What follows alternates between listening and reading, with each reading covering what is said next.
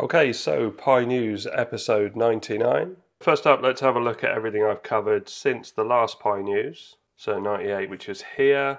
We had the very latest version, Debian Trixie, or version 13 on the Raspberry Pi, which was nice to see. And I installed KDE Plasma and had a play around with that. I talked about a free VPN. VPNs have gone a bit crazy in the UK of late, especially on mobile phones. But uh, yeah, this one's still working very well. Got Android 16 up and running with the Google Play Store and did a full tutorial on that.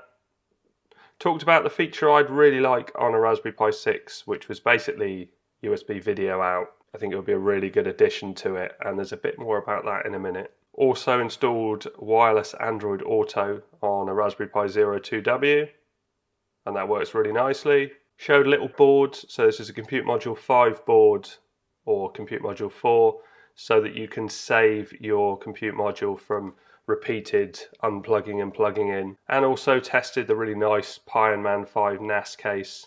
And I got asked about how many watts it uses when it's using the three and a half inch drive you can see pictured there. It's a pinned comment on that video, so have a look at that if you're interested in that. First up, I thought the most exciting one was Jeff Geerling showed this Compute Module 5 laptop from Argon One, and it does look really nice. I really like what they've done with it. They've even got breakouts for GPIO pins. It takes an NVMe drive. I'm just looking for the shot where he shows inside. It's also very slim as well. Now, the one that Jeff was sent is a prototype. This is the inside slot, so the CM5 is in there and the NVMe drive. Yeah, just really liked it. So we have a look at the Kickstarter 243,000 pledged of £1,180 goal. 869 backers. So they've got a shell only version for people who've already got a Compute Module 5. It's still £262. This is part of the trouble is that you, you really can't make a reasonably priced Raspberry Pi laptop because I think you just can't mass market it in the same way as you can just a standalone laptop. But Linux does run so well on a Raspberry Pi and it's so well supported as well. So many different operating systems. It's a 14 inch screen, 1920 by 1200, 60 hertz. It's got some conventional ports on it as well. Look. And this is the GPIO adapter, full size HDMI output, dual mics and stereo speakers, aluminium casing. It's a nice little view of the inside with the fan system. So they reckon they get six to eight hours runtime, which is reasonable. Be interesting to see how they've set the display up to see if it works with all operating systems because at the moment they're saying Raspberry Pi OS, Ubuntu, and Debian. But it'd be interesting to see things like FydeOS, things like Android, which use the display differently, Windows as well. Not that you buy this mainly as a Windows laptop, but it's nice to have the option. Oh, ETA Prime's done a video as well. I haven't seen that one yet. And you see various configurations that you can do here. So yeah, definitely nice to see and Tom's Hardware also did a write up, nice image of it. So what they're saying, it's upgradable, great thermal performance, good screen, full Raspberry Pi GPIO, webcam is easy to use, and they're saying the sound is okay, which a lot of laptops are like that. Keyboard and trackpad are usable. So trackpad is a big one for me. I really like a nice trackpad. Even my 2010 MacBook has an amazing trackpad on it, and since then I was always really critical of Windows trackpads. I think things have caught up a bit now, and most laptop trackpads are nice, but yeah, occasionally you get one that's a bit ropey. So I won't go through the whole lot. I'll link the story so you can have a look at it. But there's all the prices and various things are listed there as well. And it's worth remembering the CrowView note from Elecrow, which was also a Kickstarter. Now, the Pi goes on the outside of this, but it also means that it's compatible with loads of other SBCs and loads of other devices as well. And they were doing those from $119. Yeah, so flexibility, the fact that it works with lots of other devices is really nice, but obviously the practicality of having to plug something into the side of it is very different to the Argon solution, which is super neat and in fact doesn't stand out in a coffee shop. Next up from Pimp My Life, track aircraft with Raspberry Pi and Flight Radar 24. Now, you might already have this app on your phone. I've had it for a while and I really love it. You see a plane in the sky or you hear a helicopter go above, you can check where it's going, uh, what sort of vehicle it is. But with this, uh, so in this tutorial, I go through the steps to set up Flight Tracker that feeds data from the Raspberry Pi to the Flight Radar service. So you're actually submitting the information to the service. And the reason they do that, one of the most significant benefits to running your own flight tracker is that you get the Flight Radar 24 business account for free. That's a pricey yearly subscription you will get for free in exchange for sharing the ABS data. And I'm sure you get all sorts of extras with that. You certainly get quite a lot of adverts on the free version and it runs through all the details. So if you're interested in doing that yourself, I might be actually. It's all listed in here, nice and detailed. Now, I mentioned my video on what would you like to see on a Raspberry Pi 6, uh, which was basically USB C video output. Well, I got contacted by UboPod, and you can see bringing full function USB C connector to Raspberry Pi 4 and 5. And he's saying in the video that the Pi is connected to this monitor with just the one USB C cable. So there's an adapter that he's using. So it's not built into the Pi, but it's more about being able to give you that functionality, which is great. So he's mentioned in the video that audio is transferred as well, and he's planning to build it into this board. Then the plan is to give you one full-size HDMI and one USB-C connector through this breakout board. And data is going to be transferred as well, meaning that things like touch control, mouse and keyboard can also be transferred over to the device because things like the Elecrow laptop I mentioned just now, that takes the mouse and keyboard just from a USB-C connector with a, if using a Samsung DeX phone or I've moved over to a Google Pixel phone now, so that transfers mouse, keyboard and so on. So this can be added to a Raspberry Pi now. And I won't go through the whole video because I'll, I'll basically link it, but there's also an updated video, which is this one. And in this video is talking more about the touch control. Interesting actually, because if I go to my channel I recently did a video on head mounted displays. And recently we went to Berlin, ah here it is, and uh, I took it and I was on the plane and I was playing Dave Mirra BMX on uh, the PS2 emulator with a controller in my hand and the head mounted display on uh, from the Google Pixel phone. And it was brilliant. But actually uh, this setup or this kit comes with, this one here is an HDMI to Type-C adapter the fact that this could be built into a breakout board for Raspberry Pi is a really cool addition. So we'll keep an eye on that. Next up from Raspberry Pi, uh, we had this very nice build, which is an R2D2 robot, which uses a Raspberry Pi 3. And again, I won't go through the whole story because if you're interested in it, you'll look it up in the description. And they chose a Raspberry Pi because they can use all the different things like Python, C, C++, Ada, and Free Basic. You'll just get really good support with Raspberry Pis. There we go. The upgraded Raspberry Pi 3 version supports object detection, temperature sensors and wireless controls. Yeah, it looks very cool. Billy No Mates 1974 sent me this message. Would you be interested in my project for Raspberry Pi 02W as a media server and web media server? And he linked a video which is here and uh, basically in it he shows connecting three devices, so a phone, a laptop and a smart TV. So you can see you put in the web address, and it gives you access to the media that's on the Pi. And this is using a 02W, so very inexpensive device, and plays video simultaneously on all three of them.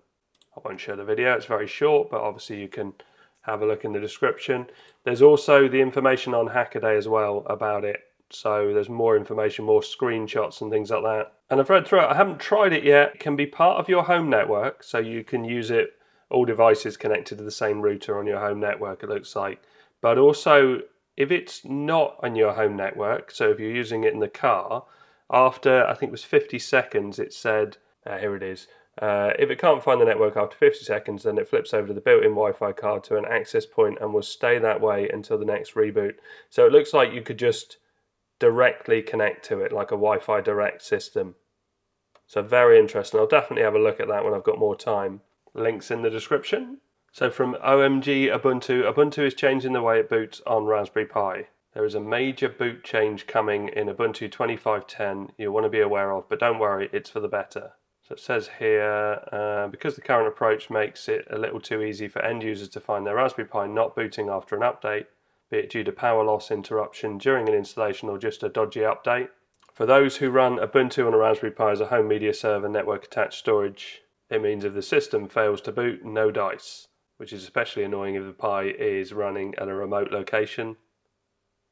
This is why things are changing on the up and coming Ubuntu 25.10 release with TryBoot, a new approach aiming to improve system recovery and reliability when running Ubuntu on Raspberry Pi hardware. We'll be moving to a system that will test new boot assets and automatically fall back to a known good configuration in the event the test fails. Really cool. And there's more information in the story here. And also another one about Ubuntu. Uh, this is from Phoronix. Ubuntu 2510 Raspberry Pi images will be much leaner. So they'll be desktop minimal rather than the full fat desktop images. This means some applications will not be enabled by default, but there is space savings of around 777 megabytes. And I saw some updates for PINN OS. So PINN gets updated all the time and lots of patches and fixes and language and so on. I tend not to use PINN that much, only because I have so many different storage devices. But before I had so many USB sticks and SD cards and NVMe drives, I used to use it all the time, especially for looking for new operating systems. So if we go to the files section, uh, and if you don't know what PINN is, it basically allows you to multi-boot several different operating systems all on the same storage. So if you've got an SD card or an NVMe drive, and if we go to the OS folder, we can see, uh, and this would be in the order that they've been uploaded. So we've got the latest Ubuntu here, we've got Android, which is Lineage OS, the Android TV version, We've got Batocera for various different Pis, Twister OS, Recalbox, which is multi-game operating systems, more Lineage OS, Pi 4, Pi 5. Got my version of KDE Plasma on there as well, but it just is full of operating systems and is a brilliant system. I've done videos on PinOS before. I might revisit it at some point because I haven't done it for ages and it is just a super easy way of trying out different operating systems without having to have loads of different storage devices to swap out. This is from Raspberry Pi. The one I wanted to focus on really was this, this ThinkMan. It just looks cool, doesn't it? So Raspberry Pi 5 using a Pi Sugar battery. They're lithium batteries for Raspberry Pis. A homage to the Sony Walkman. They've got the official cooler in there. Using an NVMe drive. USB headset with microphone. And there's links to the project on GitHub here as well, so software wise. Ah, here we go, there's the assembly, the 3D printed parts of it. Oh, I wanted to see more pictures. Ah, there's a video, so there's an hour long video on YouTube. Ah, here we are, here we get, get to see it. So I won't show all of the YouTube video, but yeah, it opens up like a Walkman. Although the door's not meant to come off on a Walkman. But I guess you don't need access to it really, because you're not changing out the storage medium. And Hackaday did this story, a very tiny handheld Pi from Random Alley Cat takes a Raspberry Pi 02W 3D printed case. We particularly like the access on the underside of the machine to access Pi ports and ventilation holes. And there's a video for that as well. Let's have a look inside. Pimoroni Hyperpixel screen, Xbox 360 keyboard. Always nice to see inside. The 02W is underneath that uh, Pi Sugar board yeah, I'll link this if you want to see more details on it, but very impressive. There was an update to the Pico chip. This is an A4 variant. Today we're happy to announce the immediate availability of the new A4 stepping. And they've also got a hacking challenge offering a £20,000 prize for a practical side channel attack on the power hardened AES library. And it goes on about it in much more detail here. And obviously you can tell them apart by seeing the A4 and the A2 variants A couple of stories here from CNX, and it's about microSD Express. So the Raspberry Pi 5 doesn't have native support for the newer microSD Express standard. It does support pretty fast SD cards, but this is faster again. And they've used the PCIe slot. So you can see here there's a board and it's got a different SD card slot. Quite handy if your old SD card slot is broken I mean, it does take up a PCIe slot, or the only PCIe slot on the Pi 5, but it's nice to have as an option. And you can see there's various details in here and some speed tests. So we're not getting NVMe speeds, but we are getting some good speeds from SD card. The read speed is indeed better than a typical micro SD card, but the sustained write speed is closer to a high-end traditional class A1, A2 micro SD card. But soon after this came, we had this story, which was even smaller. It's just sticking out of the PCIe slot. Speeds of up to 800 megabits per second. But again, not sure who's going to really need this because we have NVMe compatibility widely on the Pi 5 and we also have pretty good speeds from SD card. But it's great to see people pushing it and getting more and more options on the Pi. Raspberry Pi Connect, remote access to a Raspberry Pi from anywhere in the world, has got improved audit log for better security. So we've got county tracking, see where events took place and spot suspicious activity, download CSV, download detailed logs for auditing and security reviews, and filtering focus on the specific actions important to you. Now we geolocate every event by IP address, storing only the country code in order to preserve privacy. The information is included in both the web interface and the newly added CSV export option.